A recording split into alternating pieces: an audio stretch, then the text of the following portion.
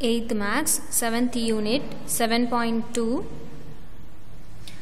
Fourth question பாருங்க Kalai want to cut identical square as big as she can f- from a piece of paper measuring 168 millimeter and by 196 millimeter. What is the length of the sides of the biggest square? To find HCF using repeated subtraction method இப்போ கொடு கலை அப்படிங்கிற ஒருத்தவங்க வந்து ஒரு identical square shape வந்து அவங்க ஒரு பேப்பரில் கட் பண்ண போகிறாங்களாம் அப்போது அதில் வந்து ரெண்டு ஷேப்ஸ் கொடுத்துருக்காங்க. சரிங்களா?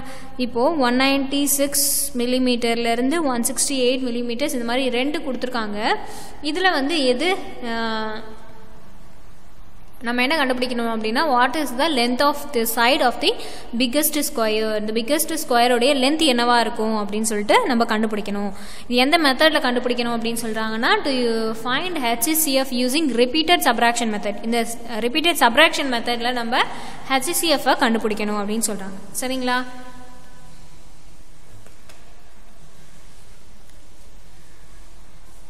இப்போ பாருங்கள் ஃபோர்த்து கொஷின் அதில் வந்து மொத்தம் ரெண்டு மெஷர்ஸை சொல்லியிருந்தாங்க. ரெண்டு சைட்ஸை சொல்லியிருந்தாங்க. Sides are one sixty eight millimeter and one ninety six அந்த மாதிரி ரெண்டு கொடுத்துருந்தாங்க.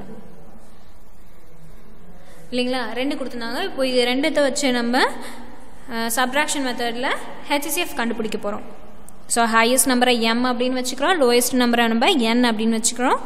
ஸோ எம் வந்து one ninety six minus one sixty eight சரிங்களா? இப்போ இது ரெண்டுத்தையும் மைனஸ் பண்ணுறோம் மைனஸ் பண்ணால் நமக்கு வந்து டுவெண்ட்டி எயிட் அப்படின்னு கிடைக்கும். ஓகேவா இதில் வந்து M is equal to one ninety six and N is equal to one sixty eight சரிங்களா? இப்போ இது ரெண்டுத்தையும் மைனஸ் பண்ணும்போது நமக்கு டுவெண்ட்டி எயிட் அப்படின்னு கிடச்சிச்சு. ஸோ லாஸ்ட்டில் இருக்கிற ரெண்டு டிஜிட் நம்பரை பார்க்கணும். ஓகேவா? இப்போ இதில் ஹையஸ்ட் வேல்யூ வந்து one sixty eight so one sixty eight minus twenty eight அப்போது ஒன் சிக்ஸ்டி எயிட்லேருந்து டுவெண்ட்டி எயிட்டை வந்து நம்ம சப்ராக்ட் பண்ணுறோம் சப்ராக்ட் பண்ணும்போது நமக்கு ஒன் ஃபார்ட்டி கிடைக்குது.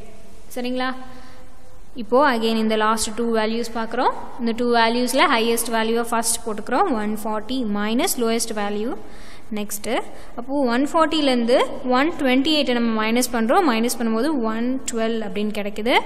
அகெயின் ரெண்டு வேல்யூவை பார்க்குறோம். ஹையஸ்ட் வேல்யூவை ஃபர்ஸ்ட் போட்டுக்கிறோம். Minus twenty eight is equal to one டுவெல்லில் twenty எயிட்டை மைனஸ் பண்ணால் நமக்கு எயிட்டி ஃபோர் அப்படின்னு கிடைக்கும். இப்போது அகெயின் லாஸ்ட் டூ வேல்யூஸ் பார்க்குறோம். இதில் வந்து highest value eighty four minus twenty eight அப்போது எயிட்டி ஃபோர்லேருந்து டுவெண்ட்டி எயிட் வந்து நம்ம மைனஸ் பண்ணுறோம் மைனஸ் பண்ணும்போது நமக்கு ஃபிஃப்டி சிக்ஸ் அப்படின்ற வேல்யூ கிடைக்குது.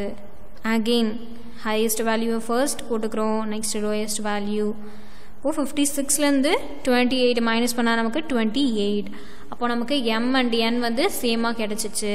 Twenty eight minus twenty eight வந்து நமக்கு ஜீரோ அப்படின்னு கிடைக்கும். இப்போது எம் அண்ட் என் வந்து எப்போ ஈக்குவலாக இருக்கோ அப்போ அதுதான் வந்து HCF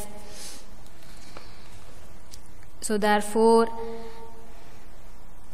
HCF is twenty eight இப்போ வந்து அவங்க ஹெச்எஸ்சிஎஃப் எதுன்னு கேட்கல அவங்க லார்ஜஸ்ட் சாரி பிக்கஸ்ட் ஸ்கொயரோடைய லென்த்து தான் கேட்டிருந்தாங்க. ஸோ அது நம்ம என்ன அப்படின்னு எழுதணும் அப்படின்னா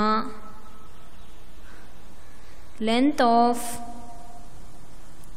பிக்கஸ்ட் ஸ்கொயர் அது ரெண்டுத்தில் பிக்கஸ்ட் ஸ்கொயர் எதுவாக இருக்கும் அப்படின்னா டுவெண்ட்டி எயிட் சரிங்களா?